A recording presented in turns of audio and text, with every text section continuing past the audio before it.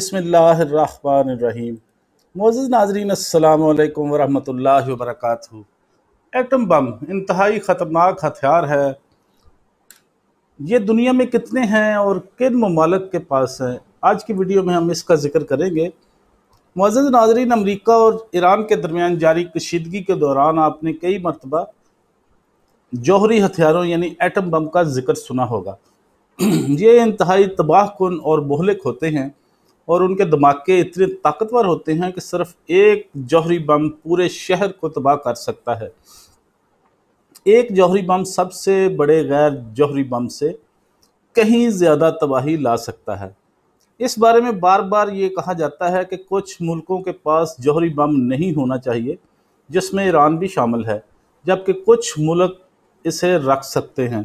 किस मुल्क को इन्हें रखने की इजाज़त होनी चाहिए और किस को नहीं इस बहस का अहाता करना मुश्किल काम है।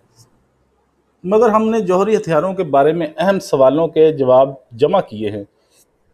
सबसे पहले, पहला सवाल यह है कि जौहरी हथियार है क्या? मुआज़ नाजरीन, ये इंतहाई ताकतवर धमाका खेज हथियार होते हैं। आपने स्कूल में साइंस की क्लासों में एटम और आइसोटोप का ज़िक्र सुना होगा। अमेरिका ने जापानी शहर हिरोशिमा पर 6 अगस्त 1945 को जौहरी बम गिराया। ये दोनों जौहरी धमाके करने में अहम होते हैं। बम को एटम तोड़ने या उसके अंदर मौजूद खफीफ ज़र्रात को मिलाने से तोानाई मिलती है। इसीलिए जौहरी बम को अक्सर एटम बम भी कहा जाता है। जौहरी बम तारीख में सिर्फ़ दो बार इस्तेमाल हुए। 1945 में दूसरी जंग अजीम के दौरान अमेरिका ने जापान पर दो एटम बम गिराए। जिससे शदीद तबाही और बहुत ज़्यादा जानी नुकसान हुआ हीरोशीमा शहर पर गिराए जाने वाले बम के असरात कई माह तक रहे और अंदाजे के मुताबिक अस्सी हज़ार अफराद हलाक हुए। नागासाकी शहर पर गिराए जाने वाले बम से सत्तर हज़ार से जायद अफराद हलाक हुए। इसके बाद किसी भी जंग में इसका इस्तेमाल नहीं हुआ। जौहरी हथियारों से बड़ी तादाद में ताबकारी खारिज होती है। धमाके के बाद भी इसके असरात तवील अरसे तक रहते हैं। जिससे मतली, उल्टियाँ, असहाल सर दर्द और बुखार हो जाता है। दूसरा सवाल ये उठता है कि किन ममालक के पास जौहरी हथियार मौजूद हैं? मोज़ नाजरीन इस वक्त दुनिया में पाँच तस्लीम शुदा जौहरी रियासतें, अमरीका, चीन, बरतानिया, फ़्रांस और रूस हैं, जबकि चार दीगर ममालक भी जौहरी हथियार रखते हैं। इनमें से इंडिया, पाकिस्तान और शुमाली कोरिया जौहरी तजर्बात कर चुके हैं। जबकि इसराइल के बारे में यही ख्याल है कि उसके पास जौहरी हथियार हैं। ताहम सरकारी तौर पर इसकी ना तस्दीक की जाती है और ना तरदीद। अंदाज़ों के मुताबिक इन ममालक के पास कुल हथियारों की तादाद चौदह हज़ार के लगभग है और इनमें से ज़्यादातर हथियार अमेरिका और रूस के पास हैं। अमरीकी साइंसदानों की फेडरेशन का कहना है कि 2019 में लगाए गए अंदाज़ों के मुताबिक रूस के मुताबिक पास 4000 से जायद जबकि अमेरिका के पास चार हज़ार के करीब जौहरी हथियार मौजूद हैं, जिनमें से दोनों ममालक में एक हज़ार से ज़्यादा हाई अलर्ट पर हैं। इसके बाद फ्रांस का नंबर आता है, जिसके पास 300 जौहरी हथियार हैं। चीन के जौहरी हथियारों की तादाद 290 के लगभग है, लेकिन इसमें तेज़ी से इजाफे का अमकान ज़ाहिर किया जाता है। और ये भी कहा जाता है कि चीन जल्द अमेरिका और रूस के बाद ऐसे हथियार रखने वाला तीसरा बड़ा मुल्क बन जाएगा।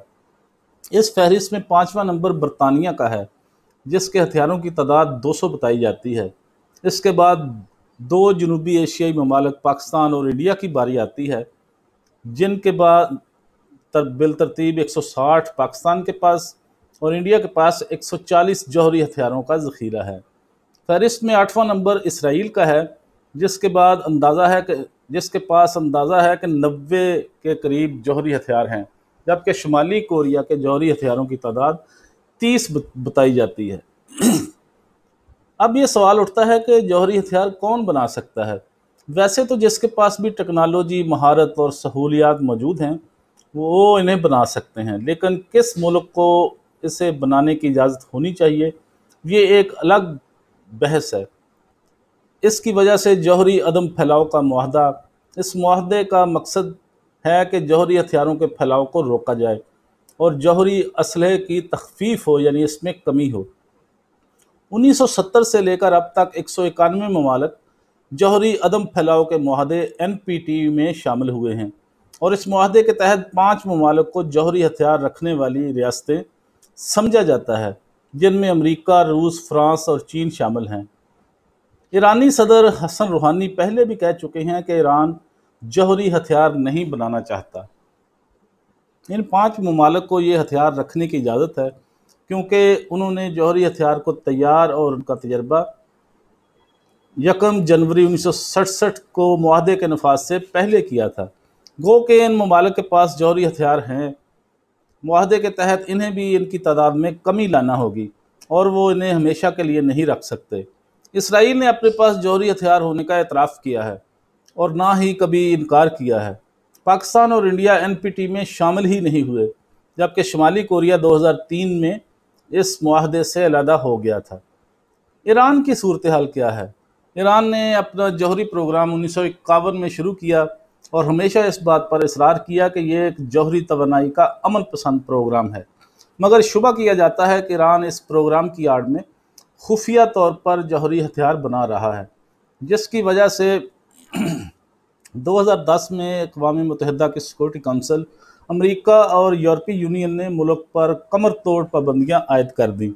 इसके बाद 2015 में ईरान और दीगर बड़ी ताकतों ने एक माहदा किया, जिसमें जौहरी प्रोग्राम में कमी के बदले ईरान पर से तजारती पाबंदियाँ उठाई गईं। मगर सदर ट्रंप के फैसले के बाद अमरीका मई 2018 में इस माहदे से लदा हो गया। अब यूरोपीय ममालक ने ईरान से माहदे की शरात पर अमल ना करने के इल्ज़ाम में उसे चैलेंज किया है।